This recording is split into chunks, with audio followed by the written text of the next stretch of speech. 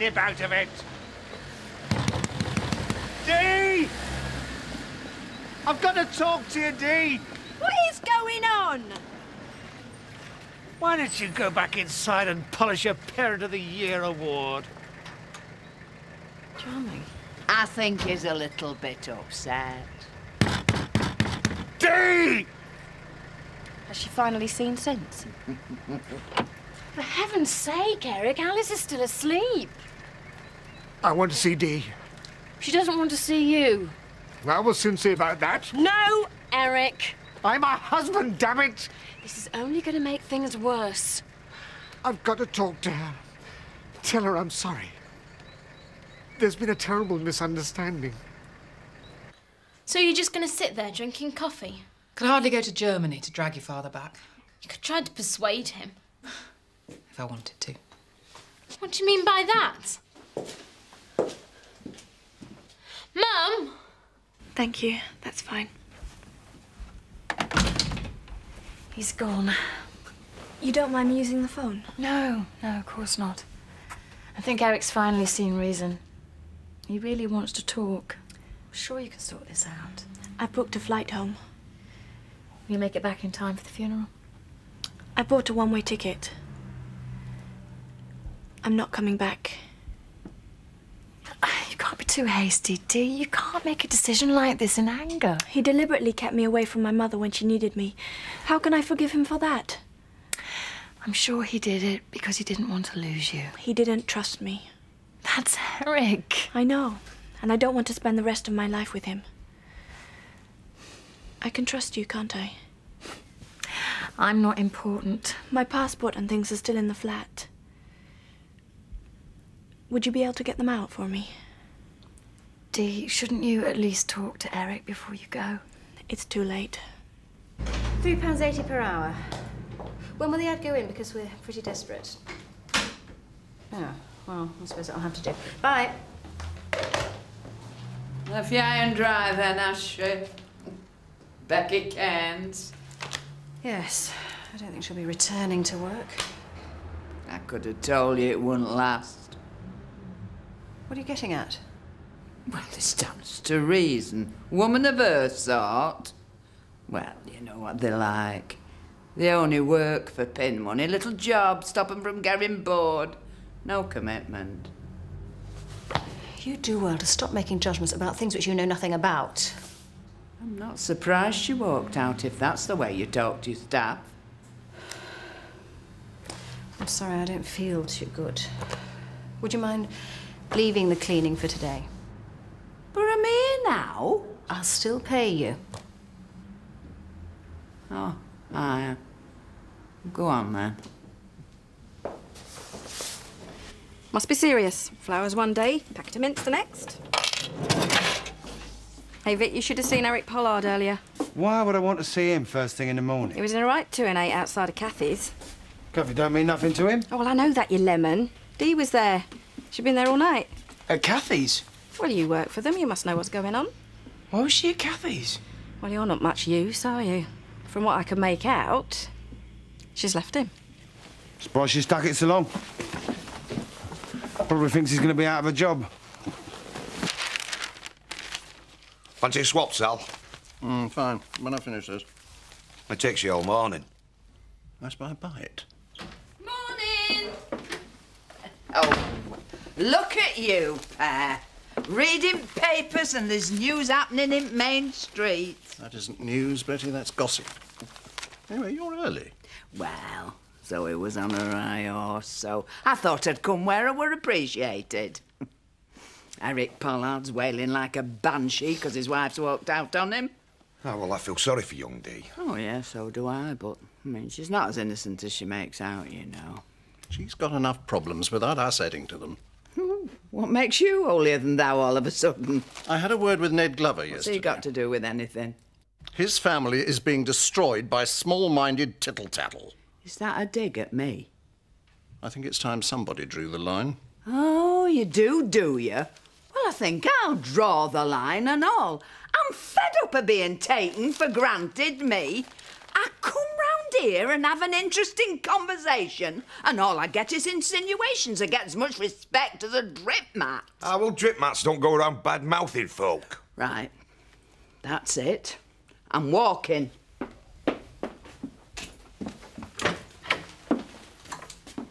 I'm resigning. Forthwith.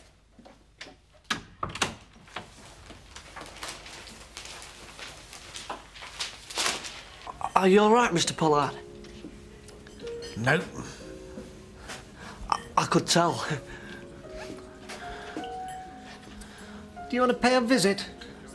Dancing around like a demented baboon? Oh, I, I, I always do this when I'm threatening about something.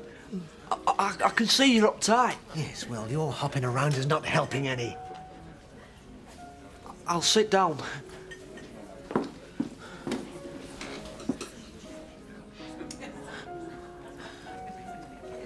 Women, eh? God, please help me. Marriage guidance from a halfwit. I prefer you jigging around, thank you. Oh, yeah. Here she is, Judas. Dee's very upset. No doubt you were fanning the flames into the small hours, were you? Who else could she turn to? Her husband. Then why didn't you tell her that her mother was dangerously ill? Of course, I'm not surprised you taken her side. After all, it was you and the others who tried to warn her off me in the first place when you first arrived, remember? Eric, why don't you go and talk to her now? Oh, yeah, that's right. I should go running around there with my tail between my legs.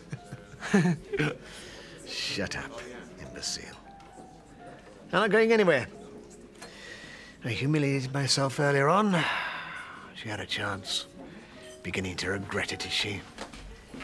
I'll be able to devote more of my time to you in future, Kathy, love. Serves her right. No, I've just told Alan Turner he can stick his job. I need your help.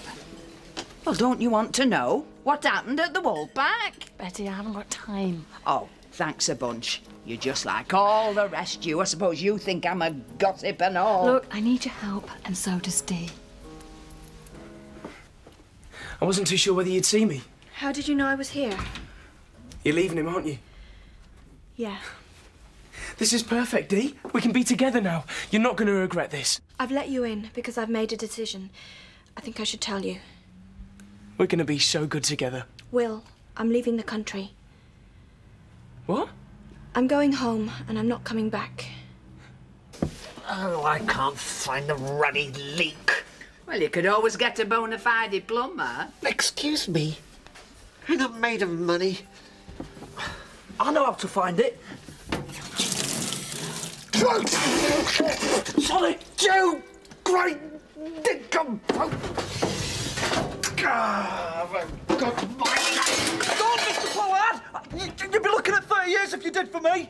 God give me strength. I'll have to get changed now. Oh, no, no, you can't go and leave that in that mess. What? Everything's taken care of. Eric, what on earth have you been doing? Waiting to see what else could go wrong.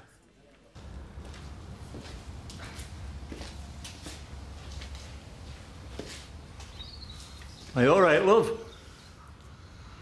Leave me alone. I didn't think you were. Just leave me.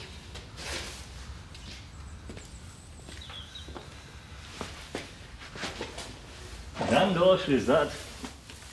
Nearly as nice as my Samson. Is that supposed to be funny? I've got an horse, of course I have. Old Samson. Liar. I let him stop up at that heritage farm that Tate's used to own. He earns his corn, pulling a trap around. Happiest days long is. So what's up then? My mother never really approved of me coming here. She didn't understand that I did it for them. It was the only way I could provide them with a decent life. Now I think she was right. Well, I could go back with you. We could live there together. You don't understand. This isn't about you and me. My mother has died. I know. I want to be there with you. Help you through it. I'll get through it. I'm the woman who advertised on the internet, and travelled halfway round the world to a strange country. I made that business a success. I'm not a helpless little girl, which is how you treat me. But don't you love me? You're a beautiful boy.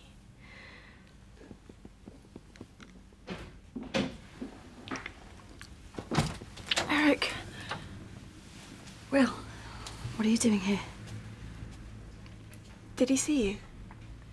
No, I just grabbed what I could. Taxi's outside waiting. You're a true friend, Kathy. I just hope you're sure about this.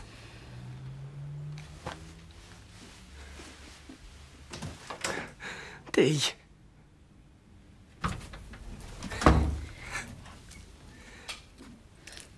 This will help you remember me until you're ready to forget. How can I forget you? I love you. I must go. I love you. I think I could have loved you, but it wouldn't be right.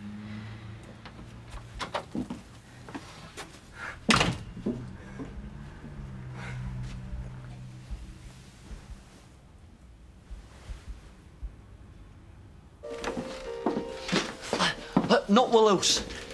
Uh, that leg, th- not in the U-bend were loose. Get away. But I've fixed it now. Good lad. Why don't you help yourself to a cream bun, love? Oh, Dad. You knew, didn't you? What are you on about? Hey, Bet- Betty's given us a cream bun, Mr. Pollard. She might give you one. Shut it! She's taken her clothes, everything. Well, what did you expect? She is my wife. She belongs here.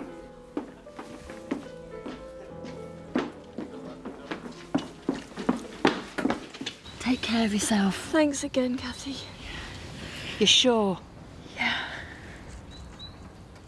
Give them to Eric.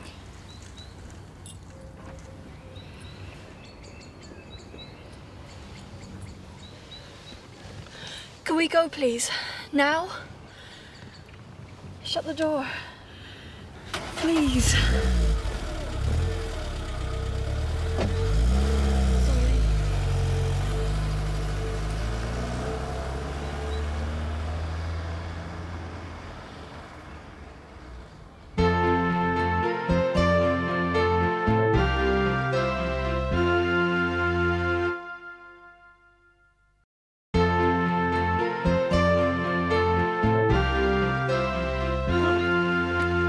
Gives you the right to interfere in my life? Don't shout at Kathy, Mr. Pollard. Shut up. She asked me to. Oh. Oh, I see.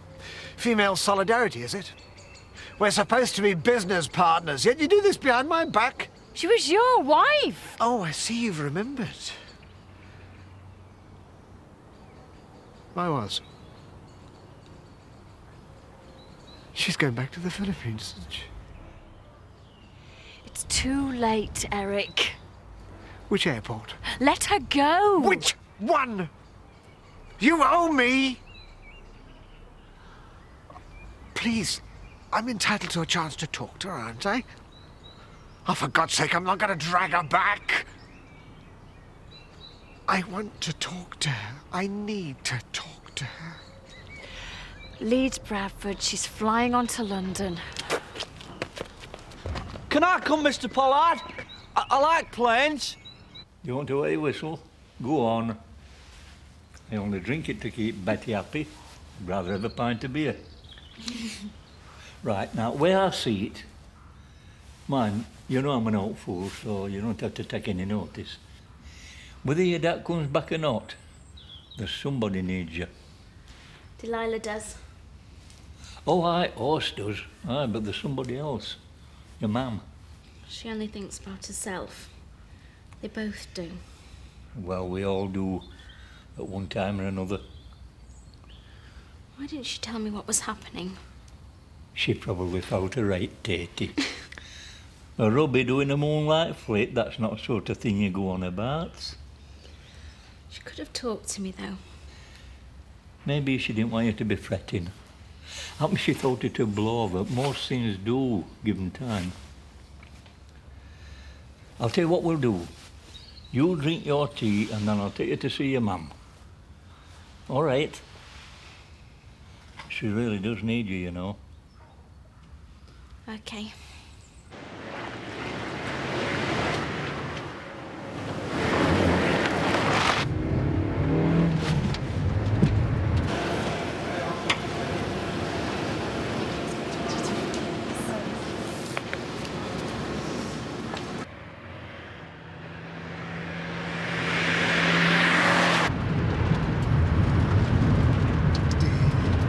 We'll pass it now for flight 357. Now, checking.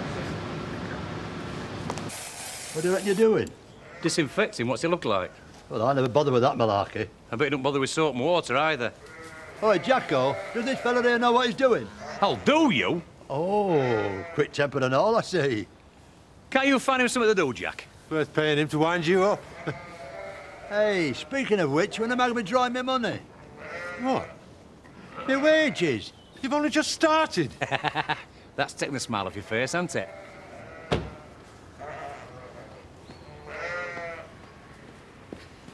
Helen Ackroyd, courier. I know you are. Got a cheat you on your face round here. Uh, I just want a word with you, Mr. Glover. I'm busy. You can get off my land right now. Not until Mr. Glover's heard what I've got to say. Been waiting a long time. Don't you think this family have suffered enough? I do, and that's why I'm here. Look, I tried to get something on the tapes 12 months ago. Just thought with the help of Mr. Glover I might be able to nail him this time.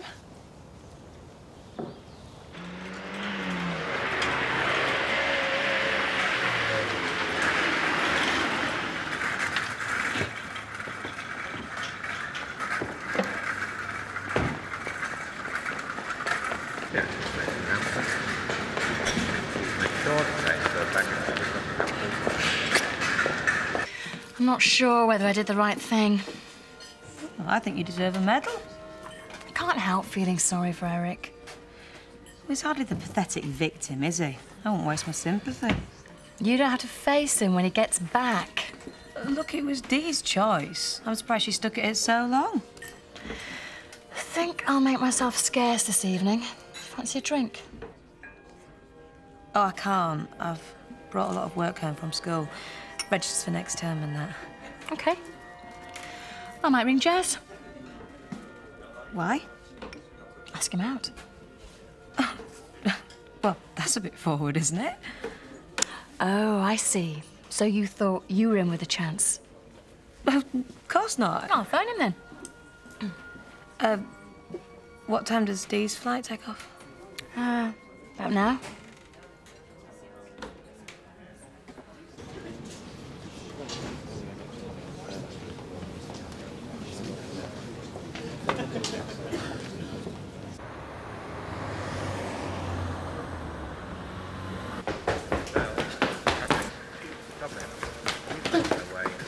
Card, please, sir. Dee! Oh, you must need, you need a boarding card, sir. She's my wife, damn it! Don't walk away. My plane's leaving. Take a later one, if you must. We've got to talk. I'm sorry, Eric. Please. Goodbye. I love you. Dee!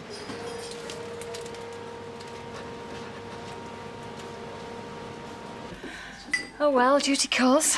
Have an exciting night. Doing your registers. I suppose you've heard about all the goings on we've had here, haven't you? And we've only heard half of it. Uh, Betty, are you doing anything tonight? Yeah, it depends. I need a sitter. Oh, anybody I know, and is he married? No, no. Is that all you're going to tell me then? I, I just don't want anyone to know round here. You know what they're like. I mean, that's why I've asked you. Discretion is my middle name. My lips are sealed. As long as I'm the first to know if there's out worth knowing.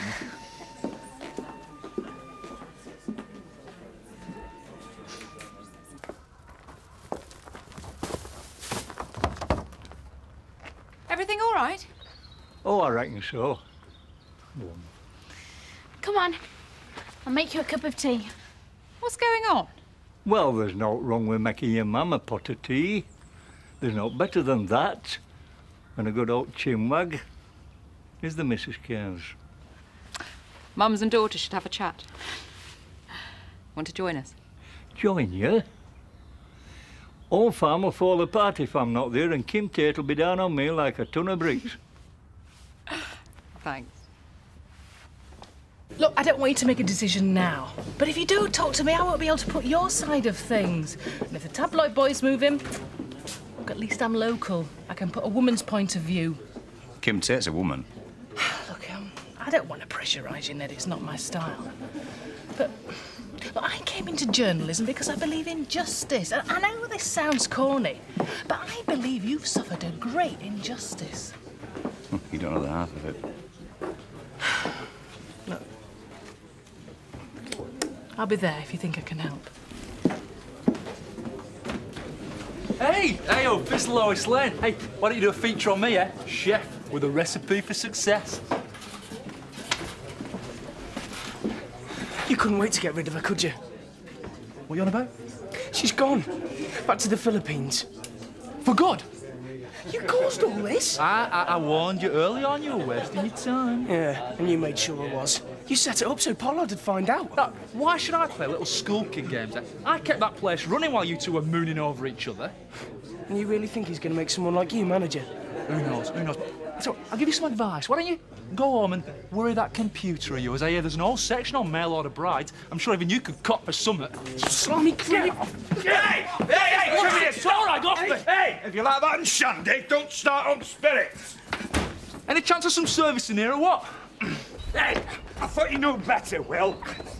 Now, that's all right, Terry. We made up for it. Now then, young man, I shall have to have a word with your father. You'll have to find him first.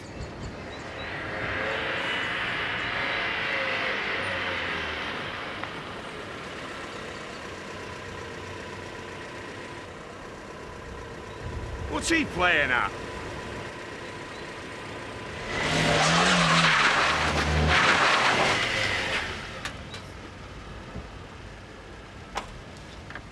I shouldn't have stopped. The devil's going on. I shouldn't have stopped. You snivelling, spoiled brat. You got your life on a plate and yet you had to take the only good thing in my life. Not your day, is it, Kenzie? Come on, Eric, that's enough. It was you who destroyed her! She doesn't love you! She never loved you! She was a prisoner here, trapped. Now she's escaped. That's why she's left you.